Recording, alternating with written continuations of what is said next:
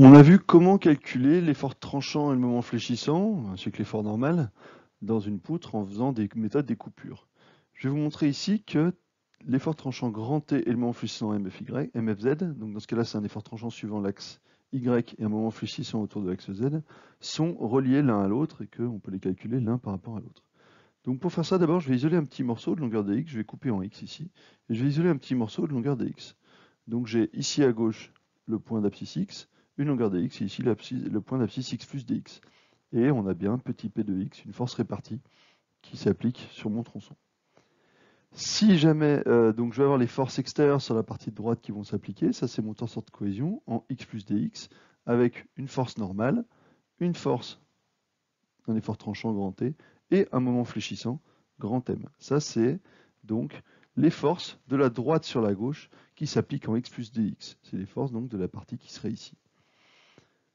Sur la partie gauche de ma poutre, comme j'ai aussi fait une coupure, je vais avoir la même chose, c'est-à-dire les forces grand N de x, grand T de x et grand M de x qui s'appliquent au point d'abscisse x. Alors, j'ai mis les forces de la droite sur la gauche, l'effort normal par exemple qui va vers la droite, et la force de la gauche vers la droite, ici, en x, qui sont opposées en termes de signes, parce que la définition des ressorts de cohésion, c'est plus ce qui est à droite ou moins ce qui est à gauche. Et donc maintenant, normalement, ce tronçon-là, sous l'action des forces de droite sur gauche et sur l'action des forces de gauche sur droite en x, et des forces extérieures, doit être à l'équilibre. Donc je peux appliquer le principe fondamental de la statique lorsque j'isole ce petit morceau-là, qui va me dire sur l'axe x que n de x plus dx moins n de x est égal à 0. Sur l'axe y, je vais avoir l'effort t de x plus dx positif, l'effort t de x négatif qui est là, et je vais aussi avoir ma force répartie petit p qui s'applique sur la longueur de x, donc plus p de x dx. Et en termes de moment, si je fais l'équation du moment au point x plus dx ici, alors je vais avoir les moments, m de x plus dx positif et m de x négatif. Donc ça, c'est ça additionne ici et ici. Je vais avoir ensuite un moment qui va être créé par ma force répartie. Et lui, c'est p de x fois dx, puisque c'est p qui s'applique sur toute cette surface-là, fois le bras de levier. Ça, si vous voulez voir comment calculer ça, il faut revoir comment calculer le moment dans le cas d'une force répartie. Et ensuite, il y a t de x fois dx, c'est la force qui est là, qui va me créer un moment à ce point-là. Ça, c'est l'équation somme des moments égale à 0. Alors, si je résous maintenant ces équations, n de x plus dx moins n de x égale à 0, ça veut dire que n de x est constant. C'est-à-dire que que je calcule mon, effort normal ici, ici ou ici, eh ben n il est constant. Ça sera la même valeur. Maintenant, l'équation qui est là, si je passe le terme p de x dx à droite et que je divise par dx, je vais trouver que t de x plus dx moins t de x est égal à moins p de x. Donc j'ai passé p à droite et j'ai divisé par dx. Et cette chose-là, d de t de x plus dx moins t de x, c'est égal à dt de x sur dt. Conclusion, on vient de trouver un truc intéressant qui dit que la dérivée de l'effort tranchant est égale à p moins p de x, la force répartie. Si maintenant je prends la deuxième équation qui est là, alors, dans cette deuxième équation, je vais supprimer ce terme. Pourquoi je supprime ce terme? Parce qu'on a du dx fois dx, dx est petit, donc dx au carré est encore plus petit, et ça c'est l'hypothèse des petites déformations qui va dire qu'en fait ce terme-là sera négligeable. Et donc je vais me retrouver avec la même forme que tout à l'heure, m de x plus dx moins m de x est égal à moins t de x dx, et donc je vais obtenir ces deux équations.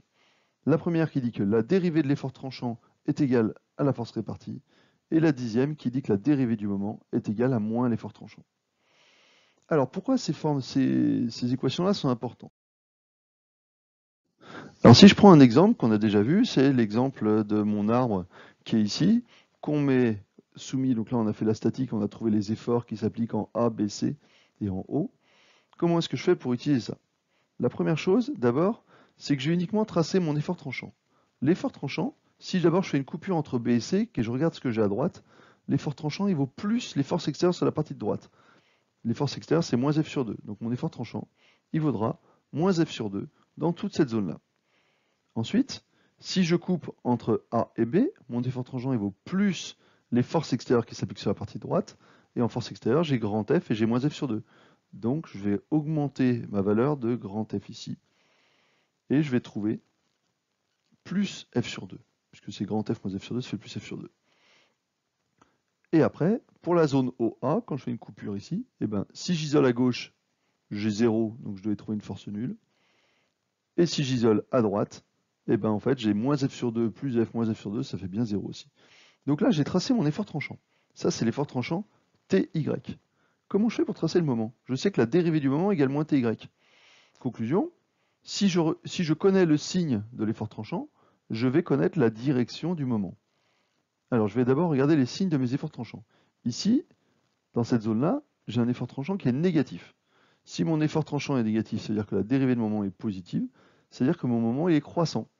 Et comme la dérivée c'est une constante, alors mon moment ça va être une droite croissante. Au point C, je sais que le moment il est nul.